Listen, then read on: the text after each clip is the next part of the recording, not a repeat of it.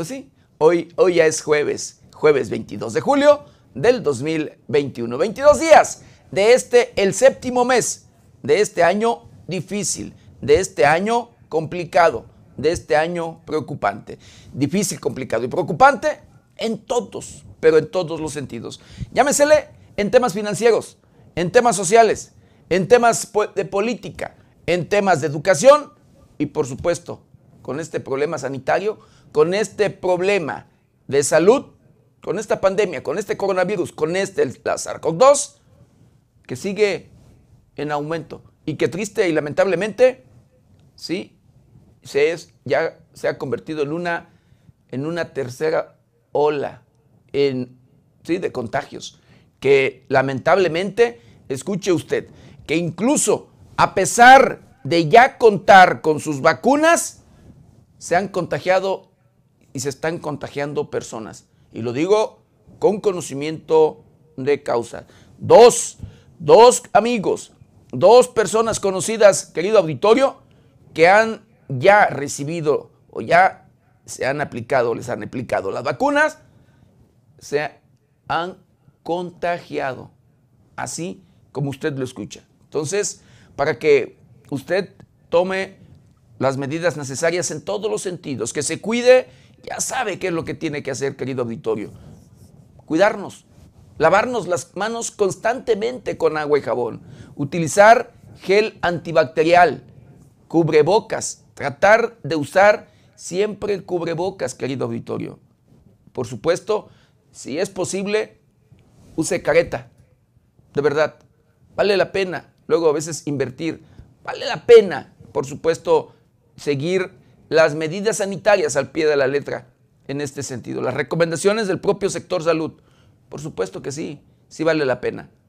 En algunos lugares ya se están tomando medidas más estrictas. En algunos lugares ya se están tratando allí de, pues, buscar continuar con medidas que van a volver a afectar, por supuesto, la economía, porque es probable que el comercio vuelva a cerrar de manera parcial, que vuelva a abrir y cerrar con ciertos horarios. No es seguro todavía, pero en algunos lugares donde hay rebrotes, hay el riesgo de volver a afectarse la economía, cuando apenas estaba queriendo repuntar, cuando apenas se comenzaba a ver ya algo, algo de actividad.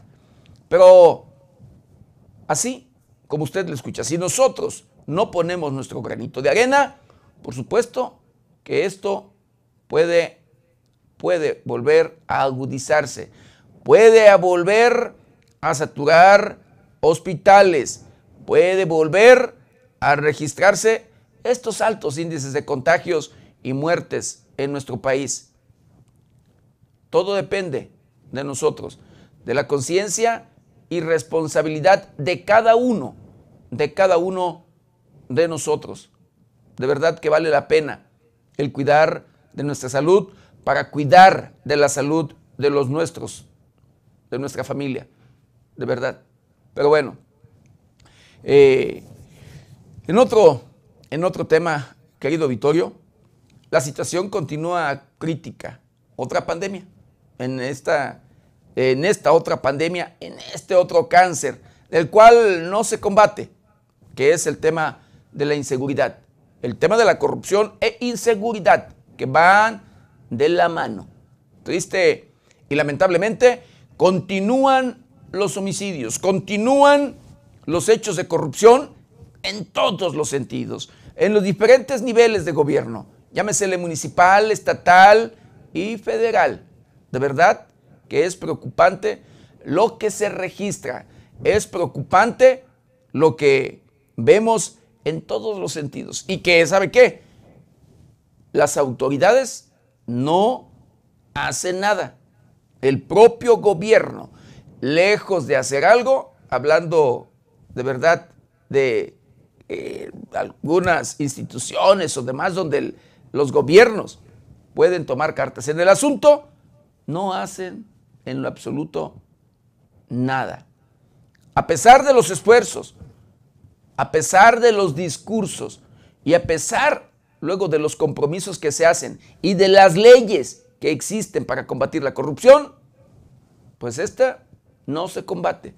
Y como siempre le he dicho, de la mano, de la mano de la corrupción va la inseguridad. Y la inseguridad, corrupción e inseguridad a los propios funcionarios, a los políticos, aquellos que están al frente de, dependencias tanto de seguridad y del propio gobierno en los diferentes lugares, es a los que se benefician o los que se benefician. Por supuesto, no les importa, no les importa en lo absoluto el bienestar de la sociedad, el bienestar del pueblo, no les importa en lo absoluto la tranquilidad de los habitantes, no les importa en lo absoluto, escuche usted, el mejoramiento de las condiciones de vida de nadie. ¿Sí? Lo único que les importa es enriquecerse a costa de lo que sea, porque las autoridades se hacen aliados de aquellos grupos criminales que llevan prácticas como la corrupción, perdón, la extorsión, que llevan las a cabo las prácticas del secuestro y por supuesto los asesinatos, los asesinatos de los diferentes habitantes para sembrar el miedo y terror y por supuesto llevar a cabo estas prácticas. Ante ello,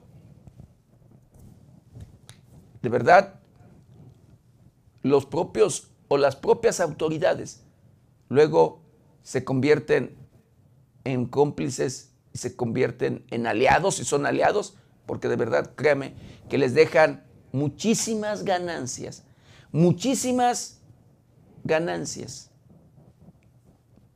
Y luego, incluso algunos habitantes a los cuales yo les mando nuestro reconocimiento en todos los sentidos, de verdad, porque luego toman la difícil decisión de tomar las armas e instalar barricadas después de que llegue el cansancio y que el cansancio cuando las autoridades se hacen de vista ciega y de oídos sordos, que no los toman en cuenta y ellos sufren precisamente las consecuencias, que ellos son víctimas, víctimas de los grupos criminales de todos estos delitos, de todas estas prácticas.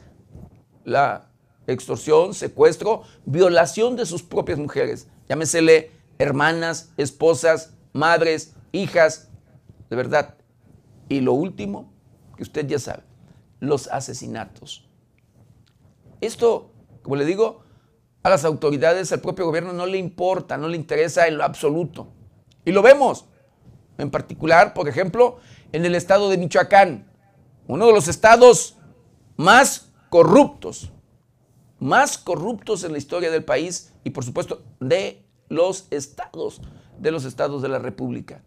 Michoacán ocupando los primeros lugares en corrupción.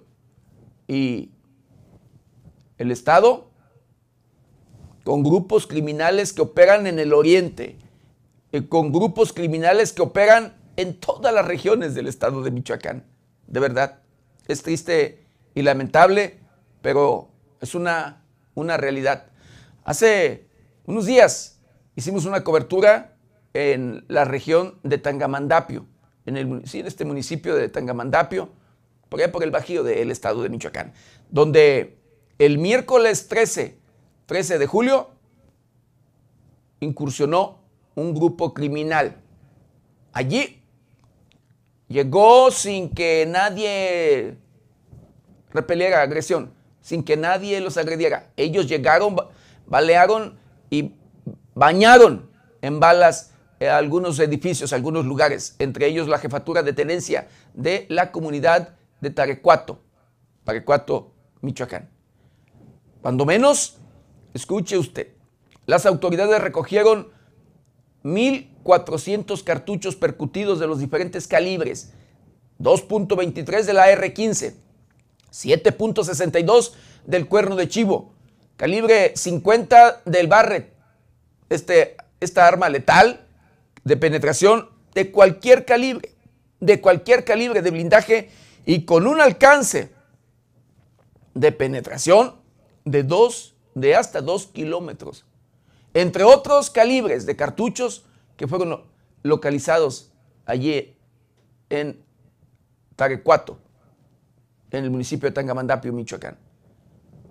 Pues de allí, una vez que cometieron sus fechorías, que incluso murió una persona, una persona luego de que se cubría, trataba de ocultarse, de resguardarse en todos los sentidos, luego de las balas, pues las balas alcanzaron un tanque de gas donde, este, donde esta persona estaba resguardándose. Y al detonar el tanque de gas y registrarse un incendio, murió esta persona. Una víctima mortal, que fue lo que dejó esta balacera o esta, esta agresión allá en, en el municipio de Tangamandapio, en la comunidad indígena de Tarecuato. Esta comunidad que ha puesto muy en alto el nombre, el nombre a nivel nacional e internacional por su gastronomía, por los atoles, que año con año incluso hacen la feria o llevan a cabo la feria del atole un domingo, un sábado antes del domingo de Ramos. Siempre año con año, el sábado anterior al domingo de Ramos se lleva a cabo la feria, la feria. Una comunidad hermosa en todos los sentidos, con historia, con arquitectura del siglo XVI, arquitectura eclesiástica, que es lo que prácticamente todavía prevalece, pero hermoso, un atrio precioso, la iglesia, la iglesia de verdad con, híjole, su fachada preciosa, que vale la pena de verdad conocer en todos los sentidos si usted, si usted no la conoce.